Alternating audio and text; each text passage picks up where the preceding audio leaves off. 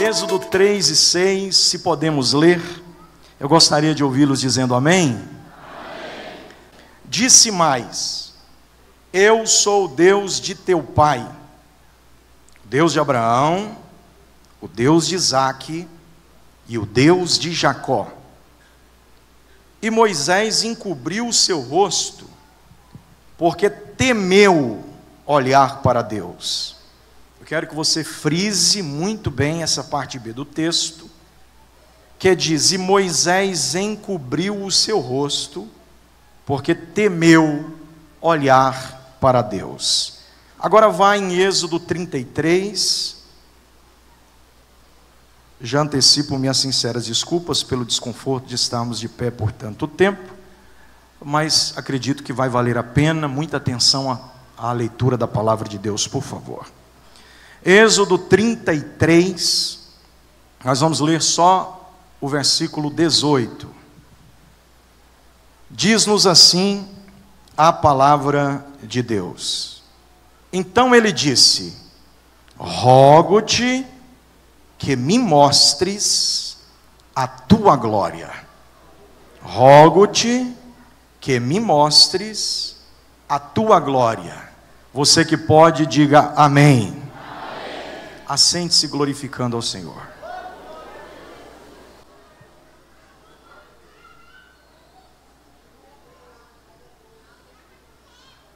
Trago um abraço da minha esposa e dos meus filhos à igreja de Betim.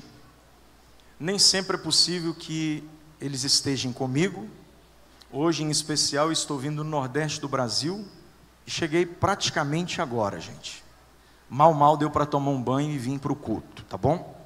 Mas a minha esposa e os meus filhos estão de casa cultuando com a gente na intercessão. Querem receber um abraço da minha família, meus amados irmãos? Nós vamos refletir nesse texto, ou nesses dois textos que lemos, mas antes disso eu queria só chamar a sua atenção para um detalhe. Para um detalhe. Prometo que serei breve, tenha paciência comigo. Eu acabei de lançar este livro, Essência, Identidade Inalterável. Quando você sair por estas portas, o pastor Washington estará à sua disposição. Em ato contínuo, eu também vou para lá dar um abraço nos irmãos. Eu fui convidado pelo pastor José Carlos de Lima, lá na Paraíba, um convite que muito me alegrou a propósito, para pregar no evento estadual de jovens. E esta foi a temática que eles propuseram. Enquanto eu formatava o corpo sermonário para ministrar aquela igreja, eu percebi que era mais do que um tema para um sermão, era um tema para um livro. Portanto, está aqui este livro que foi lançado há exatos 31 dias atrás, Essência, Identidade Inalterável. Para você que é um amante da leitura, neste livro eu trato sobre a questão identitária do ilustre personagem bíblico, o profeta Daniel. Entre tantas coisas que você vai descobrir neste livro, destaco três para vocês. A primeira delas é que Daniel é o personagem bíblico mais inteligente, o homem mais sábio da Bíblia, embora o texto sagrado aponte para Salomão, nas entrelinhas de Ezequiel 28, você descobrirá que o homem mais sábio foi Daniel. Outro sim, de um judeu exilado passou a ser um profeta honrado e por fim terminou como o único homem da Bíblia que no céu foi desejado. Imagine vocês um homem que o céu está desejando. Por fim, a Bíblia também destaca que entre os profetas contemporâneos, Ezequiel e Jeremias, Daniel se desponta como um político além de profeta e a Bíblia o declara como um homem de espírito excelente. Só ele recebeu esses três títulos que eu acabei de mostrar a vocês, mas aqui eu mostro doze peculiaridades da vida do profeta Daniel e faço questão de apresentar a sua essência, porque Daniel também foi o único profeta da Bíblia que sonhou. E vale destacar que quem sonha na Bíblia são apenas 14 pessoas. E entre estas 14 pessoas que sonham, Daniel é o único profeta. Se você quiser adquirir, ficarei grato, até porque esse livro é uma edição comemorativa e sobrou alguns, e eu tenho ali não mais do que uns 50, talvez, nem, nem isso. Se vocês quiserem adquirir, na editora é R$ 39,90. Você vai levar dois por 50. Amém? Vamos refletir na palavra de Deus, gente? Vocês estão com vontade de ouvir a palavra de Deus? Os textos que lemos estão no oposto, porque o primeiro texto que nós lemos mostra-nos que Moisés temeu olhar para Deus. Já o segundo texto mostra que Moisés está interessado em ver a glória de Deus. O que mudou para que Moisés tivesse essa intenção alternada? O que que mudou no coração de Moisés para que quando ele sobe no Horebe pela primeira vez, ele queira ver o fogo, mas teme ver a Deus? E quando ele sobe no Horebe pela quarta vez, que é o texto que lemos, ele quer ver Deus independentemente do poder que emana do fogo de sua glória. Primeiro ele quer ver o fogo, mas teme ver Deus. Depois ele até desconsidera o fogo pelo desejo incessante de ver a face do Senhor. Eu sei que está no contraposto, é paradoxal, mas existem algumas verdades embutidas nesse contexto. E eu queria pregar a vocês na noite de hoje, para esta primeira segunda-feira é, de 2024, pelo menos a primeira que vocês cultuam, porque na primeira deu no dia primeiro, literalmente falando. Então, para esta primeira semana em que vocês estão se desempenhando em se deslocarem de suas residências para virem ao templo buscar a face do Senhor, eu queria pregar sobre da autoridade à intimidade.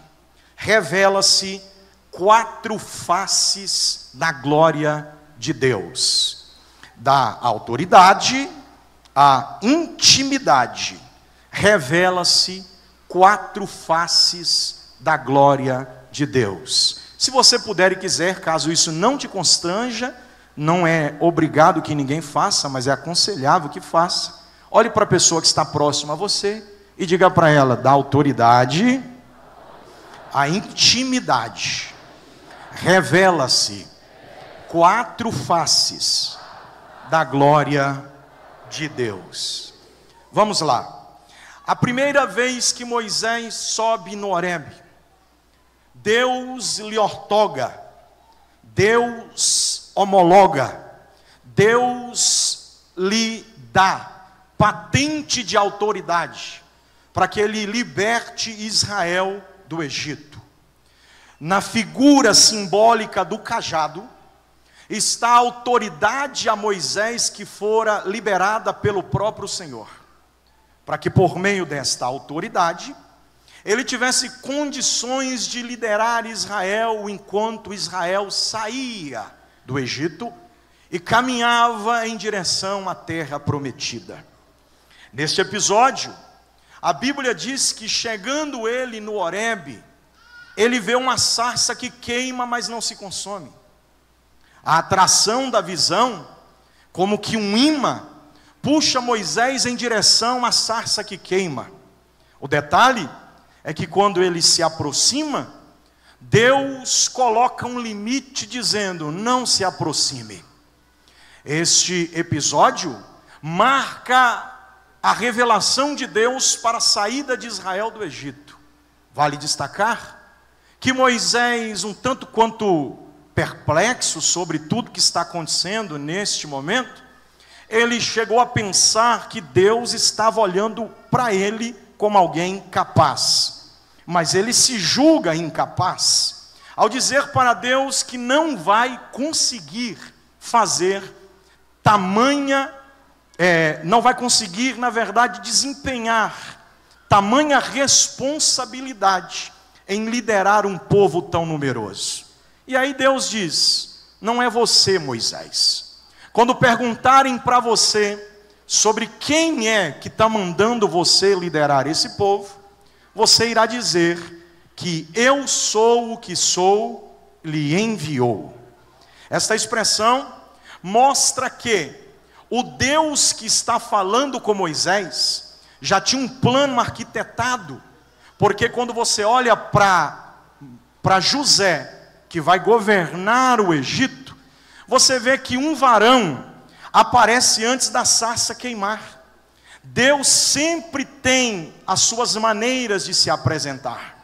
O detalhe é que tem hora que ele se apresenta mostrando que chegou, mas tem hora que ele está presente de forma misteriosa sem se apresentar. Quando, na ocasião de José, por exemplo, o varão que aponta o endereço dos irmãos pode ser condicionada por duas vertentes. A primeira linguagem mostra másculo, isto é, um homem, alguém que pertence ao sexo masculino.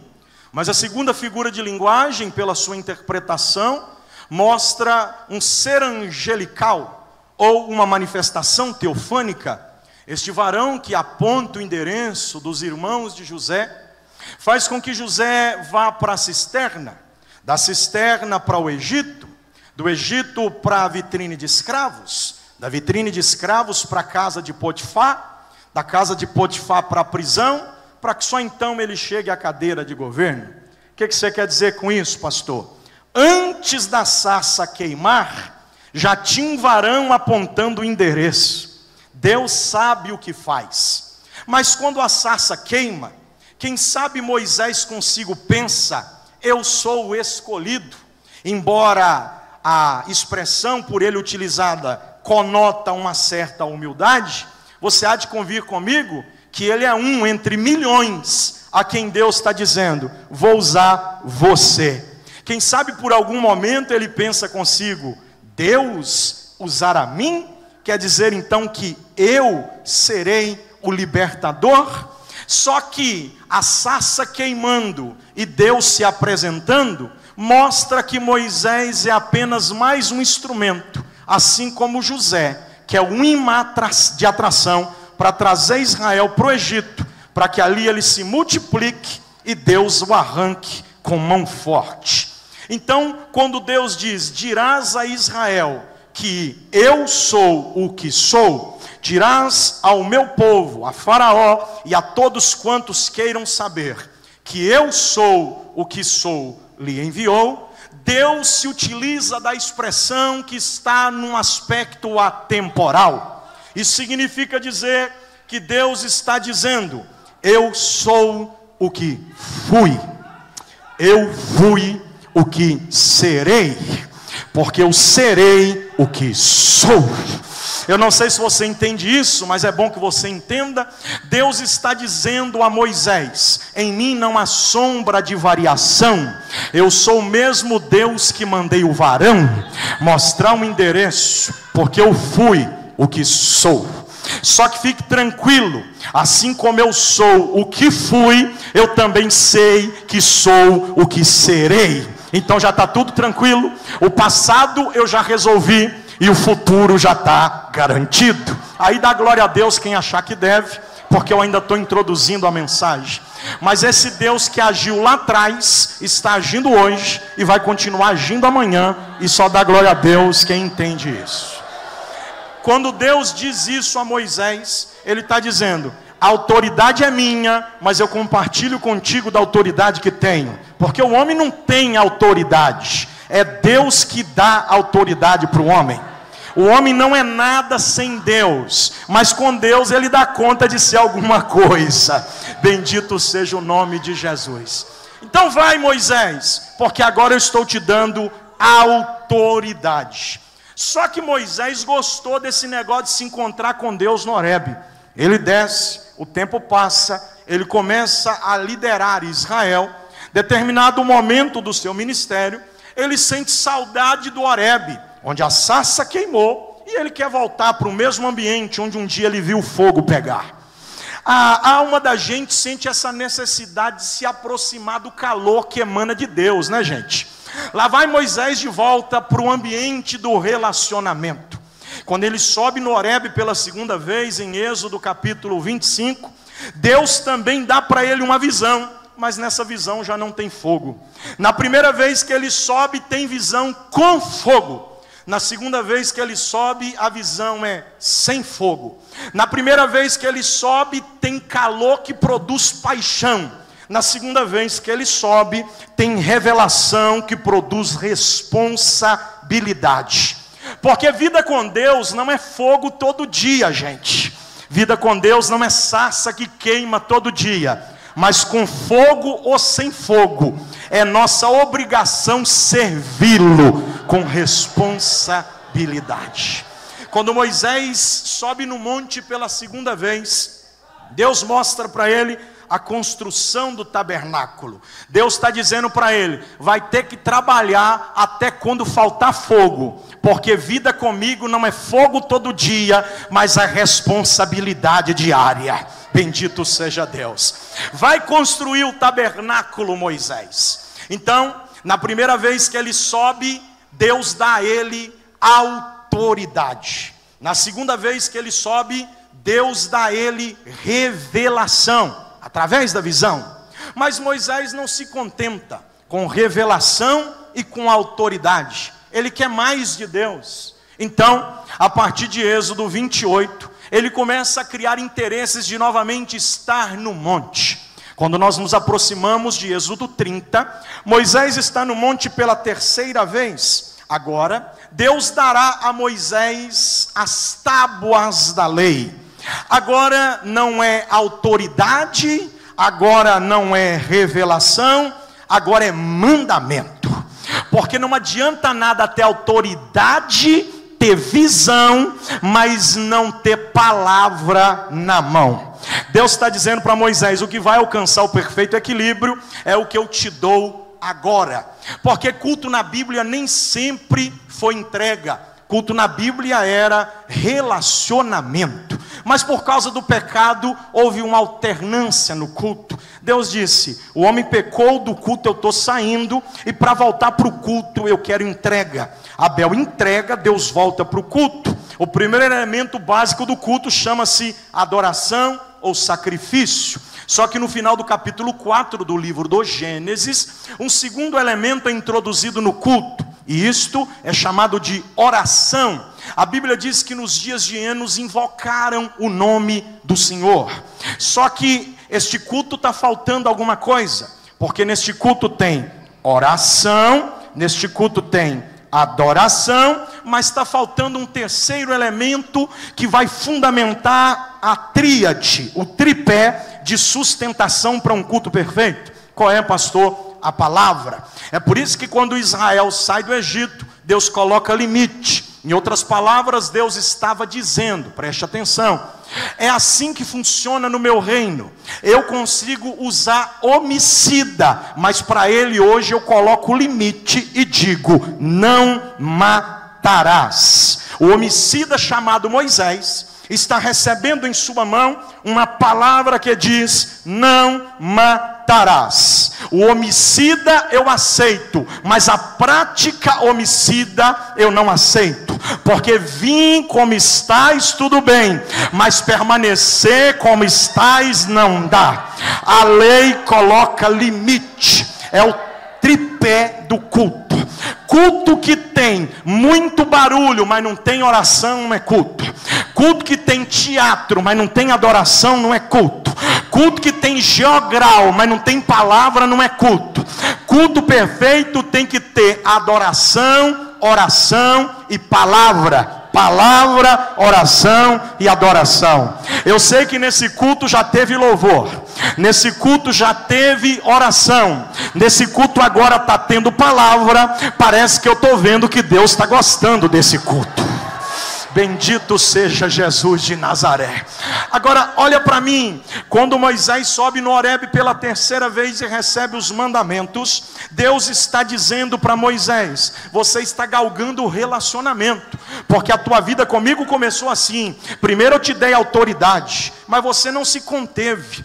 Pastor, mas pode que Deus dá autoridade para alguém que não se relaciona com Ele? Quem foi que falou para você que Moisés tinha vida íntima com Deus? Moisés conhecia Deus de ouvir falar de Deus. Até os 80 anos de idade, a vida de Moisés era uma vida de ouvir falar de Deus. Até que um dia ele ouve Deus falar e tudo muda. Só que a primeira vez que Moisés ouve Deus falar, Deus está dizendo: Eu te chamo para a minha obra.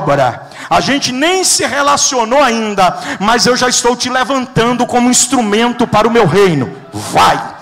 É por isso que eu entendo que ter uma patente não é tudo, porque no céu não vai entrar, olha para cá, por favor. No céu não vai entrar pastor, pregador, cantor, dirigente, regente, componente, libertador. No céu vai entrar quem se relaciona com Deus, porque uma coisa é você ter autoridade para falar em nome dEle, outra coisa é você ter intimidade para deitar no colo dEle. Deus só chamou dois homens para estarem no seu coração. O primeiro homem que chegou ao coração de Deus foi Davi no Antigo Testamento. O segundo homem que chegou ao coração de Jesus foi João no Novo Testamento. Tem muita gente que tem autoridade, inclusive Judas, inclusive Datã, Corá e Abirão, inclusive Acã, mas que tem intimidade é pouca gente. A minha mensagem essa noite não é que Deus vai te tirar de baixo para colocar em cima. A minha mensagem essa noite não é que Deus está preocupado em te dar título, porque não é título que dignifica ofício, é ofício que dignifica título. Mais vale um cooperador cheio da graça de Deus do que um pastor vazio da presença do Senhor.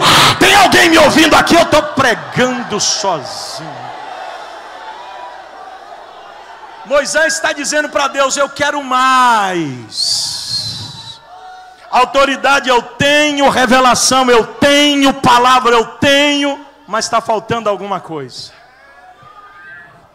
Por que, que você está dizendo isso, pastor? Porque todos nós, sem a presença de Deus, estamos fadados ao fracasso. Me explica direito isso, te explico. Moisés, de certo modo, tinha um desequilíbrio. A psicologia aponta para o desequilíbrio de Moisés. Antes dele conhecer o Senhor, ele mata um egípcio. E por que ele mata? Porque há um hebreu que está lutando com o egípcio. Então, uma ação externa provoca em Moisés uma mudança interna. Não partiu dele, foi alguém de fora que provocou ele para ele agir sem domínio próprio. Só que isso é quando ele não conhecia o Senhor. Só que depois houve recorrência.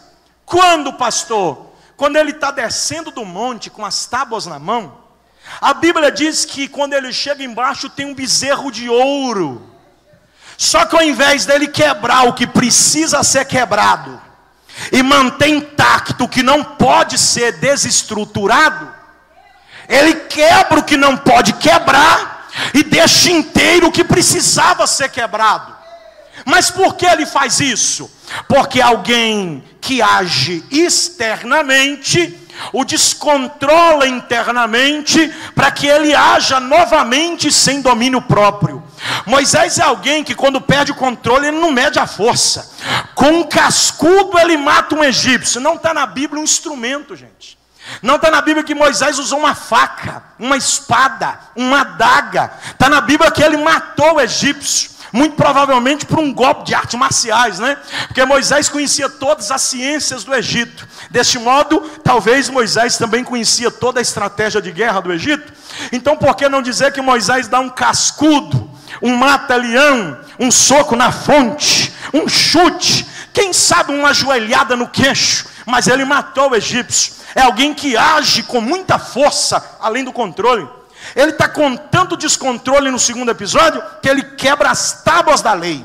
Quando ele se dá conta, ele tem que quebrar também o bezerro. Porque quebrou o que era para ficar inteiro e deixou inteiro o que era para ter quebrado. Mas aí ele se recompõe e vai quebrar o que precisa ser quebrado. Aí Deus ensina para ele que no reino dele não tem esse negócio de quebrar tudo. Eu vou falar porque está aqui, ó.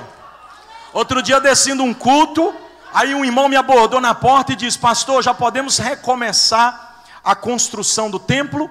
Podemos agora começar as reformas?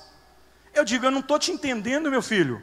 Ele diz: Não, acho que a gente vai ter que reformar o templo, porque hoje Deus te trouxe aqui para quebrar tudo.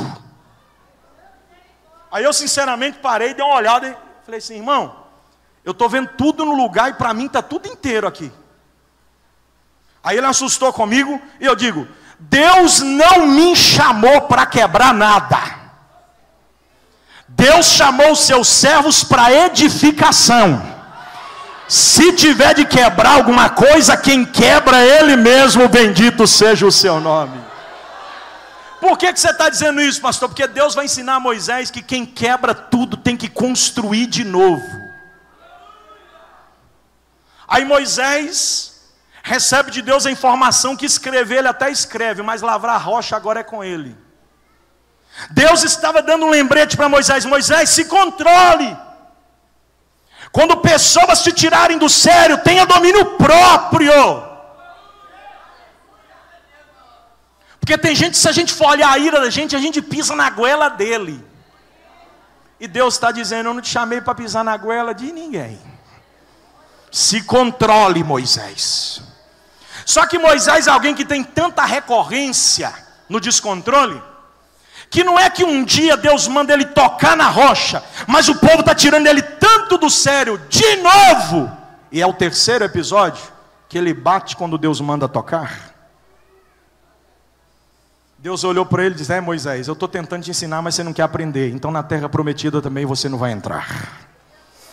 Olhe para quem está do teu lado e diga para ele assim: Deus te trouxe aqui esta noite para te dizer que em 2024 você precisa de domínio próprio. Diga para ele: vai meu filho, alcance domínio próprio, tenha autocontrole. A autoridade te dá força, mas domínio próprio te ensina a hora certa de agir. Tem alguém ouvindo a mensagem de Deus ou eu estou pregando só para mim aqui esta noite? Moisés descobre que tem que ir no monte por uma quarta vez. E quando ele sobe no monte pela quarta vez, é aqui que eu queria chegar para pregar. A Bíblia diz que quando ali ele está, ele diz: Senhor, mostra-me a tua glória. Quando eu comecei o meu relacionamento contigo, foi assim. Quando o Senhor disse: Não se achegue para cá, porque o lugar onde estás é santo, eu cobri a minha face, porque eu me preocupei com o teu fogo, mas me esqueci do nosso relacionamento. Só que agora eu vim aqui dizer para o Senhor: nem que o teu fogo me mate, eu quero ter intimidade contigo. Oh, me ajude a pregar, Jesus. Quando ele vai pela primeira vez, Deus diz: tire a sandália dos teus pés, porque o ambiente onde tu estás é santo.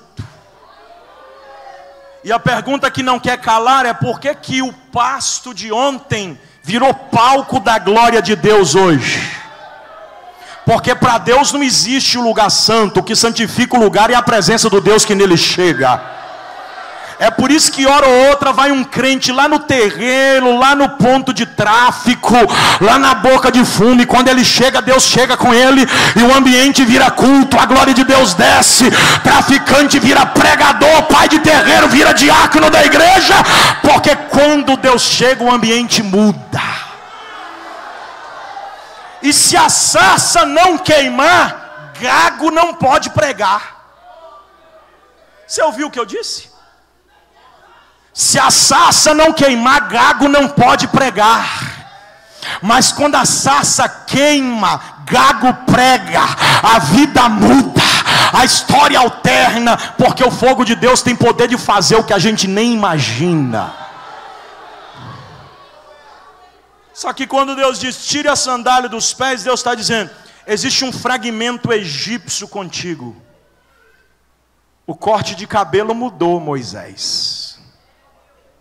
As vestimentas já não são mais a mesma. Você está parecendo um, hebreu autêntico.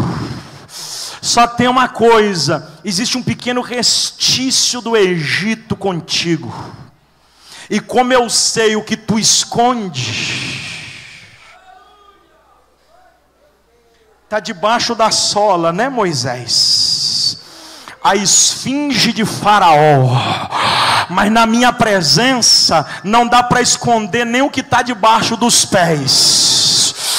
Tire a sandália dos teus pés para entrar na minha presença. O que, que significa isso? Remova o restinho do Egito que você ainda leva consigo e ninguém sabe, porque está escondido. Porque na minha presença não dá para se envolver na dimensão do que eu tenho para você, enquanto você carrega esse mal que tenta esconder. Aí ele joga a sandália fora. Porque o primeiro passo em direção à intimidade é jogar fora todo o restício do Egito que ainda carrega-se contigo. Olhe para quem está do teu lado e pergunta para ele: tem coisa do Egito ainda aí, varão? Tem coisa do Egito ainda aí, minha irmã? Porque se tem, joga fora. Porque para ter intimidade com Deus, não pode ter contaminação do Egito. Aí ele dá o primeiro passo. Eu não tenho tempo para pregar tudo que eu gostaria, mas vou resumir aqui rapidinho. Quando ele dá esse primeiro passo em direção a Deus, ele está dizendo: Eu quero me relacionar contigo. Tem alguém aqui que quer ter relacionamento profundo com Deus em 2024? Porque o convite de Deus é para a gente romper a superficialidade. Porque todos nós temos uma sandalinha amarrada no pé. Todos nós temos uma esfingezinha do Egito debaixo da sola do pé. E Deus está dizendo: 2024 é um ano de libertação completa. 2024 é um ano de descomplicação. Joga fora o que o Egito faz com você e vem na minha presença que eu vou te envolver da cabeça aos pés, Moisés.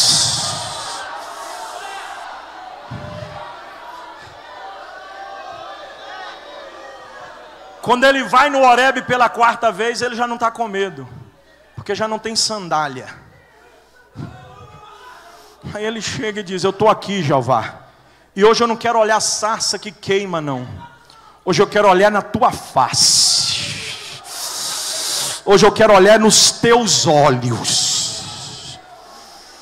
Porque do primeiro episódio para o segundo episódio a gente não sabe o que mudou, se foi a vivência, a experiência, a convivência se foi o medo que acabou ou se o medo ainda existia, mas a vontade de ver Deus era maior do que o medo que ele possuía.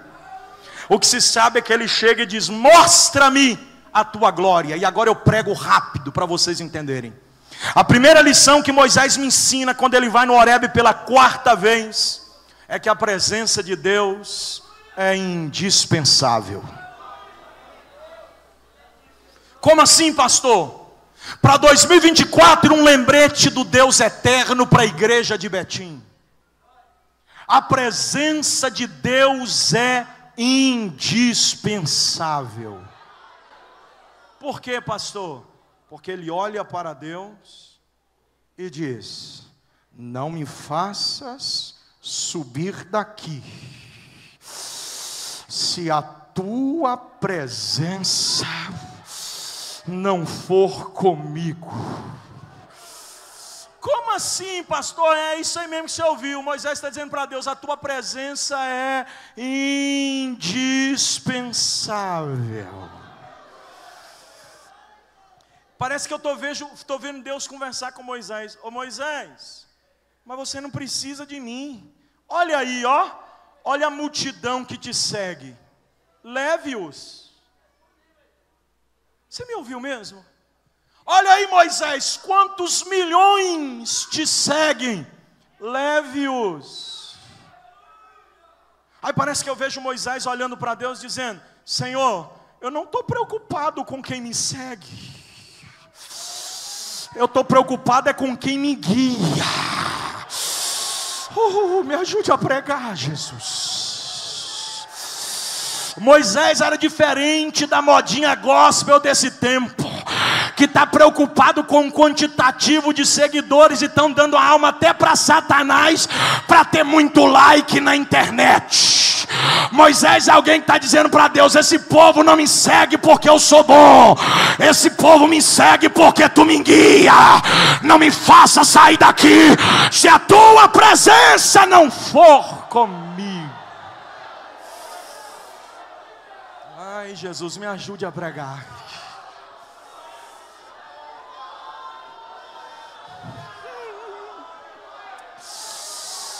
Elei, Remondro, Sérgia.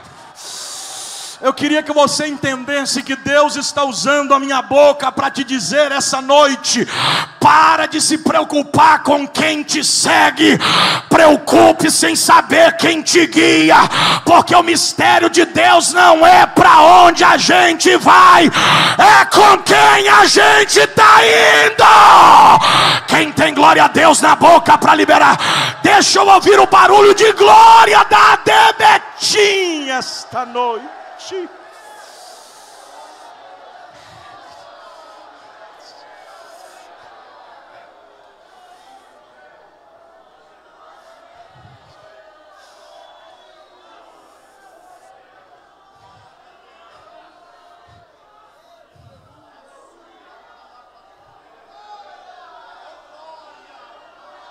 Canaã não é nada se o Senhor não estiver lá.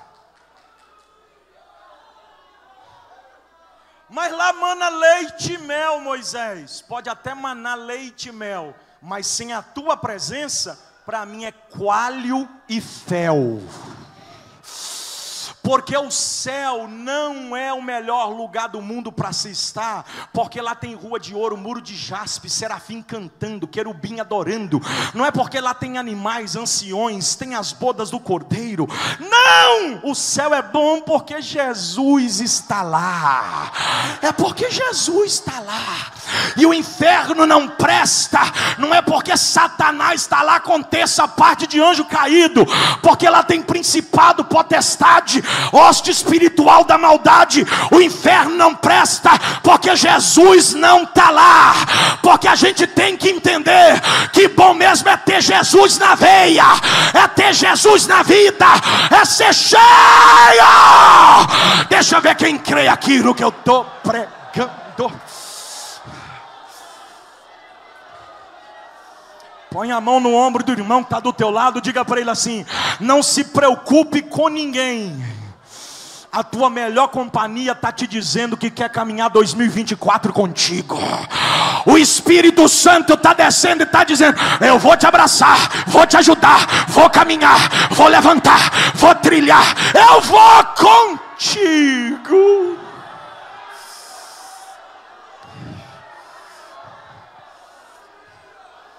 Tomé foi um ignorante, porque em João 14, no verso 5, ele intercala Jesus em um discurso lindo. Vinha Jesus dizendo: Não se turbe o vosso coração, credes em Deus, crede também em mim. Na casa de meu pai há muitas moradas, se não fosse assim, não vos teria dito, porquanto vou vos preparar lugar. E quando eu for vos preparar lugar, levarei vocês mesmos para que, para que onde eu estiver, estejais vós também. Aí Tomé entra e diz: Senhor, o senhor falou que vai, que tem, que faz, mas até agora você não falou onde é. Como é que a gente vai? Aí Jesus responde no verso 6: Estou aqui há tanto tempo e tu ainda não me viu. Eu sou o caminho, a verdade e a vida. E ninguém vem se Jesus tivesse dito, e ninguém vai, tudo bem, mas ele disse, e ninguém vem. Jesus está dizendo: Eu não estou te mandando ir, para que você vá sozinho. Eu estou te mandando vir para que eu te acompanhe. Olha para quem está do teu lado, por favor, e diga para ele assim: Jesus está te dizendo que será a tua companhia. Oh, aí dá glória a Deus, só quem entende um mistério desse, só quem entende.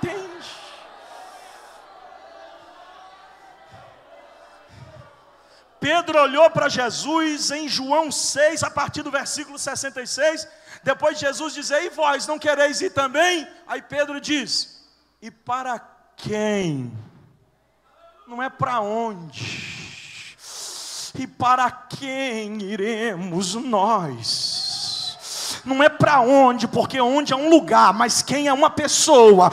A nossa salvação não está no céu, está em Jesus. A nossa salvação não está em um lugar, está em Deus. Abraça forte esse irmão que está do teu lado, diga para ele assim: tem companhia para você. A presença de Deus é indispensável. Diga para ele: abrace essa presença. Se agarre nessa presença. Eu estou sentindo autoridade para pregar aqui, gente. Eu não sei se tem mais alguém comigo, mas eu sou pentecostal, tá? Eu estou segurando, mas não dá, porque ele já desceu aqui, já me abraçou. Ele está comigo aqui, tem calor dele palpitando na minha alma. Tem mais alguém comigo? Eu estou sozinho. Olha como a presença dele é indispensável. Quem estava chorando já está rindo. Quem estava calado já está dando glória. Abre a boca, Debetinho, e diga glória. Aleluia. Aleluia. Aleluia.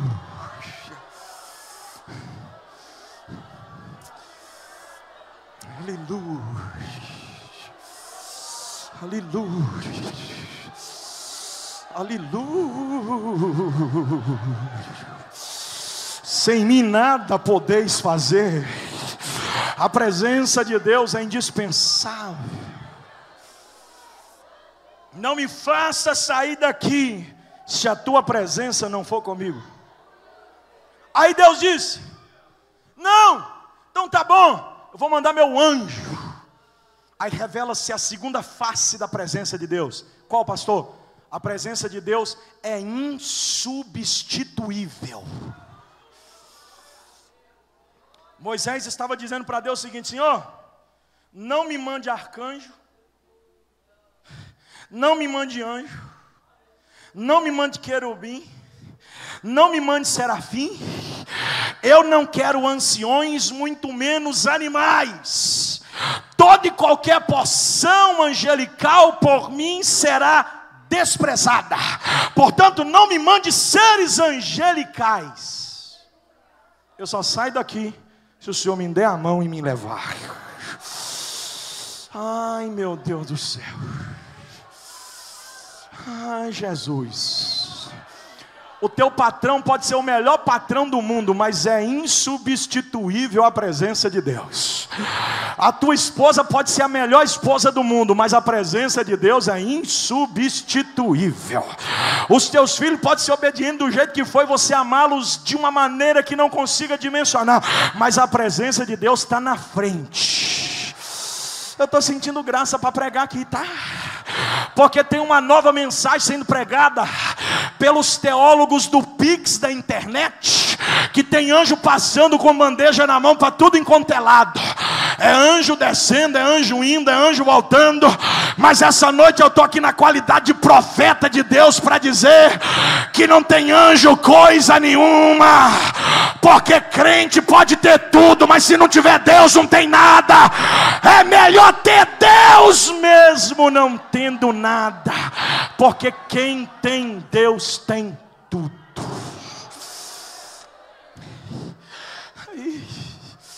Eu vou mandar um anjo. Eu não quero seres angelicais. Eu quero a tua presença. Mas o anjo vai na tua frente, Moisés. Eu não fico atrás de ninguém. Porque quem me guia não é a bússola. Quem me guia não é o GPS. Quem me guia não é Miguel, Gabriel. Não! Quem me guia é o Senhor. Você entende isso, crente? Você entende isso? Aí Moisés continua conversando com Deus, e essa terceira é de arrepiar. Aí Deus, Moisés, eu não vou te mostrar minha glória, não. Revela-se a terceira face da glória de Deus agora, porque no dia que eu te mostrar minha glória, na totalidade do que ela é, você morre. E aqui revela-se que a glória de Deus é insuportável. Vai apertar o calo para vocês entenderem. Deus está dizendo para Moisés: Você quer me ver, Moisés?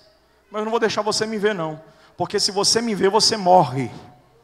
Eu quero te lembrar que você lidera milhões de pessoas, que eu te dei autoridade, que eu te dei revelação, que eu te dei mandamento, mas eu não te dei divindade. Então lembre-se, Moisés, que homens de Deus não são deuses dos homens. Companheiros, obreiros, pastores que aqui estão, líderes, Deus dá para a gente autoridade, visão, revelação, mandamento Deus dá para a gente até intimidade, mas Deus não dá para a gente divindade. Deus está dizendo para Moisés: você pode ter um pouquinho do que eu tenho para dar, porque você não consegue resistir tudo que eu tenho para entregar, porque eu tenho mais para dar do que a tua capacidade para receber. Só que eu sou tão bom, Moisés, que mesmo tudo que eu tendo para dar é insuportável para você, eu vou te dar o que você suporta eu vou pôr a mão na fenda da rocha, tu passa, eu vou passar e depois que eu passar, eu abro e tu me vê de costa. O que você quer, não vou te dar, não, mas o que você precisa, fica tranquilo, porque isso também não vou deixar de te entregar. Ai, Jesus amado. Tem gente querendo ser superstar gospel e Deus está dizendo: você nunca será um Deus dos homens. Se contente em ser um homem de Deus não vou dar para você tudo que você quer, mas não também, também não vou deixar de dar tudo que você precisa. Levante a mão, você que respeita que Deus não te dará tudo que você quer, mas também não deixará faltar o que você precisa.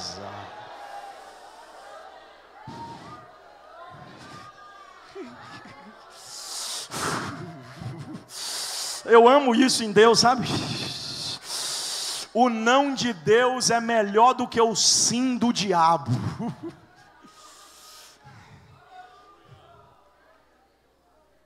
Um indivíduo da minha qualidade um sujeito igual eu, está pregando aqui hoje nesse altar. Não vou me contentar com o que Deus está me dando.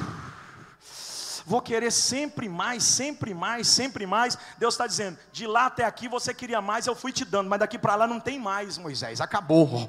Chegou no limite, porque daqui para lá tem que ser divindade. Eu só te dou intimidade. Então não vem pensar que você vai dizer eu determino, porque com o meu reino não tem determinismo, tá, Moisés? Essa mensagem é coach.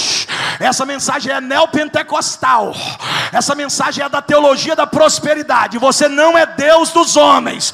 Você é homem de Deus. Daqui para lá você não vai. Isso aí é para quem tem divindade. E comigo você só tem intimidade. Então você não determina nada. Você não manda nada. Você não põe hora e nem tempo para nada. Mas se esconder na minha sombra, eu faço, eu tenho, eu posso, eu sou.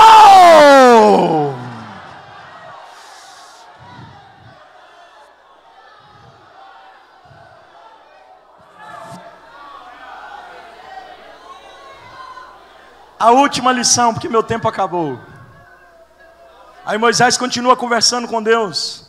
Pastor Marcelo, Pastor Elias, Pastor Ricardo, Guilherme, todos os pastores aqui. Moisés continua conversando com Deus. Aí diz a Bíblia que a glória de Deus imunda Moisés. Eu amo isso daqui, gente. E aí Moisés, quando desce do monte, o povo começa a pôr a mão no olho.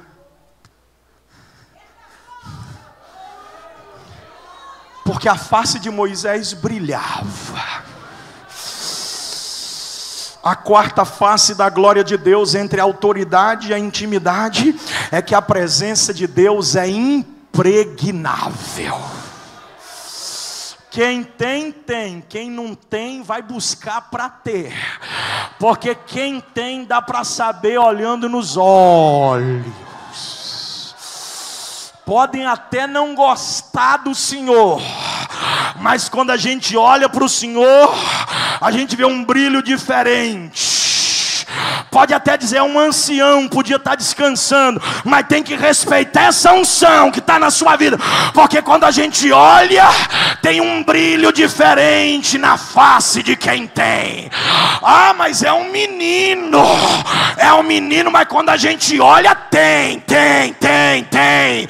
Quem tem, tem, quem não tem, ó, vai chupando o dedinho e pedindo misericórdia, porque Deus está usando a minha boca para dizer que duas coisas vai acontecer no Brasil a qualquer momento. Na verdade, já está acontecendo. O que, pastor? Deus vai mostrar os que têm. Porque quem tem não consegue ficar escondido.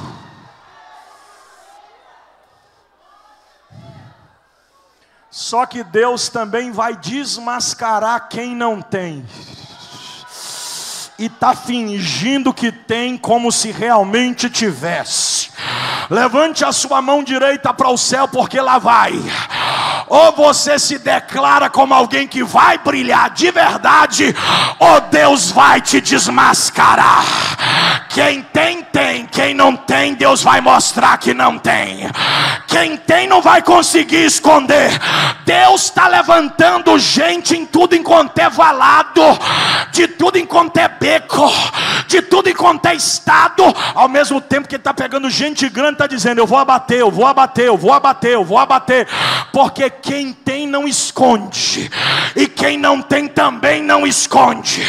Pode tirar a máscara. Oh meu Deus, eu estou sentindo autoridade para falar isso aqui, viu? Quando eu sinto os negócios desse aqui é porque vai acontecer. Deus vai fazer uma limpeza nos púlpitos da igreja brasileira. Deus vai desmascarar os mascarados. E se prepara, porque quem está na oração, na consagração, no jejum e tem vida com Deus, Deus vai te mostrar. Elai Choreba. Ela é maracama choria.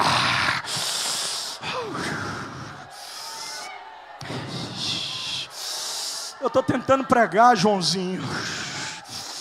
Só que a gente olha para algumas pessoas e diz: da onde veio? Tem, licença com todo respeito. Está aqui, dá para ver que tem. Quem tem, tem. A presença de Deus é impregnável. Olha para quem está do teu lado, diga para ele assim: é indispensável, é insubstituível, é insuportável, mas também é impregnável. Olha no olho dele e vê se tem ou se está vazio. Choco balofo. Quem tem, mostra que tem e Deus está mostrando aqui, hein? Alai Joheba. Lorimidiono condro sergue maua.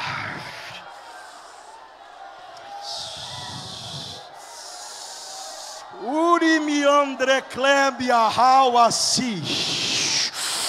Oramaua, Téria, Clondro, Cid, Dorogaua. Ela manacando de citarauau adéria. Amandro condro queria dar a Cidio colohaua. Deus está descendo aqui, Ele está renovando quem é batizado com o Espírito Santo. Que mistério é esse, Jesus? Ele está dizendo na minha boca: eu vou impregnar alguém aqui esta noite. Eu vou encher os meus vasos aqui esta noite. Eu vou transbordar minha glória aqui esta noite. Se tu quer ver a glória de Deus, seja cheio aí agora.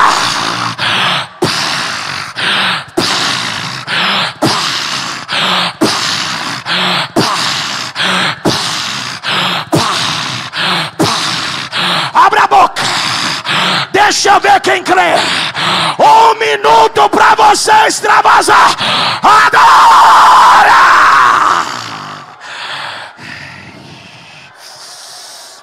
Orion. Orion.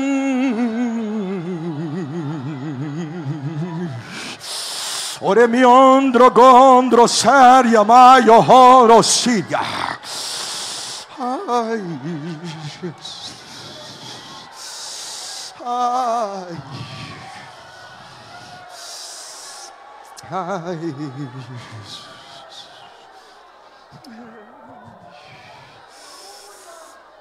Aleluia.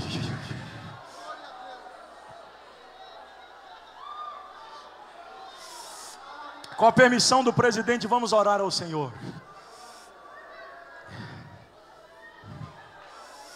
Aleluia. Aloha, Ereondro gorahawa nemerevasia. Dondro sirigergi amondro gorahawasi. Ndadasite. Ndadasiteria. Ndadasite. Ndadasiteria montre a faia sergue amorvasi.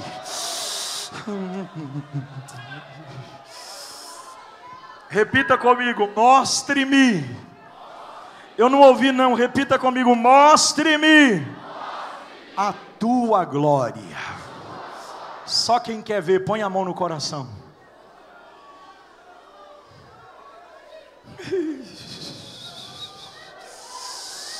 Senhor, eu preguei a tua palavra, não tenho condições de ir adiante, mas eu sei que o teu espírito vai. E tem gente aqui que precisava ouvir isso. Então eu te peço para aqueles que entenderam que a tua presença é indispensável, que a tua presença é insubstituível, que a tua presença é insuportável e que a tua presença é impregnável, dê só uma fagulha, Jesus. Somente uma fagulha desta glória para que todos por onde o teu filho passar reconheçam pela sua face que o Senhor é com ele, que o Senhor é com ela. É a minha oração, em nome de Jesus. Antes de se assentar, por favor, abrace pelo menos três pessoas e diga para ele: recebe dessa glória.